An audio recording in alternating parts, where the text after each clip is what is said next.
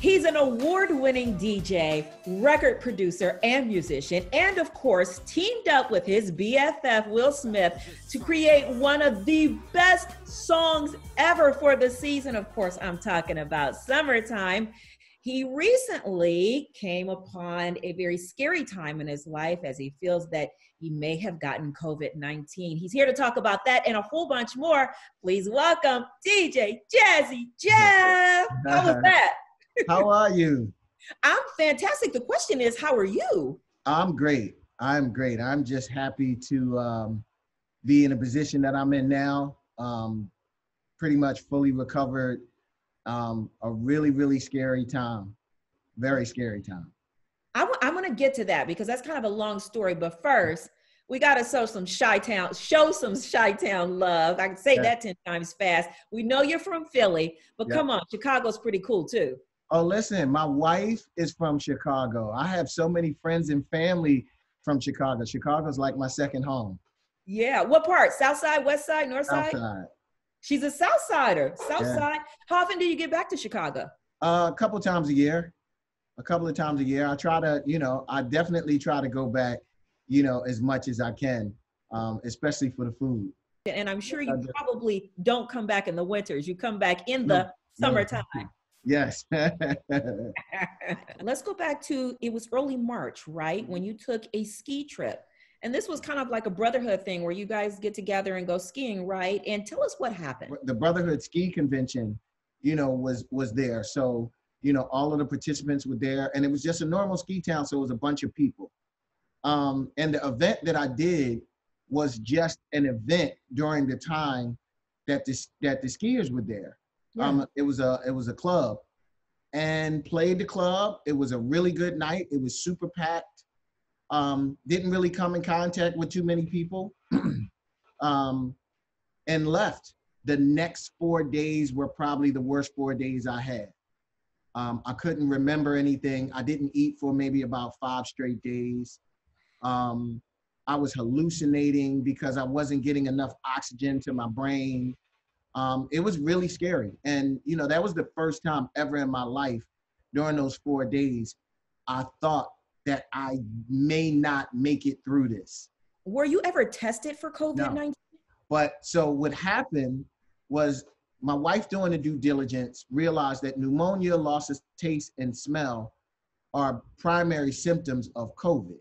So okay. we started trying to figure out where possibly, and right when I was coming out of it, we got a, a email from a journalist from the New York Post that basically said, you know, I'm doing a story that um, there's a lot of people in Ketchum, Idaho, that came down with COVID.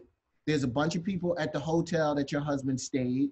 There's a humongous group of people that was at the party, and a lot of the black skiers in the association came down with it. And I was just wondering, you know, how is Jeff? Because he didn't even know I was sick. And that was the correlation that we understood that, you know, pretty much it was a bunch of people that got sick. And then when you start reading that, you know, a bunch of them passed away, you know, you really started to, you know, that really kind of shook me a little bit. How do you feel about going into the public now? Or just Oh, I'm terrified. I am absolutely terrified. Um, and I'm more terrified because of the unknown.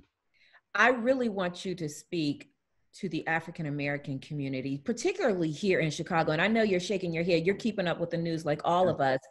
Here, the numbers are so disproportionate when it comes to the African American community versus the Chicago community at large. And I don't think that we're getting it. But coming from DJ Jazzy Jeff, maybe you can reach folks. Well, I mean, you know what I've, I've realized is, you know, this is un- unfortunately, in in our communities, we're immune to the recession. Like yeah. there's always a recession. So whether it's good or bad, we are used to dealing with things in a certain way. But this is something very, very different. This is something airborne. This is something that's extremely deadly. That this isn't something that we can ignore. And taking it from someone who actually went through this, I would not want anybody on God's earth to go through what I went through. DJs have really been saving our lives. Haha, yeah. you like that? Talk about the just the streaming online, the amount of DJs that you're seeing providing hope, um, energy to folks who may be down, you know what I mean? And we're seeing yeah. it, and, and, it's all virtual, the DJ battles. What are yeah. your thoughts on that from somebody who's been DJing? By the way, did I read this correct since 10 years old?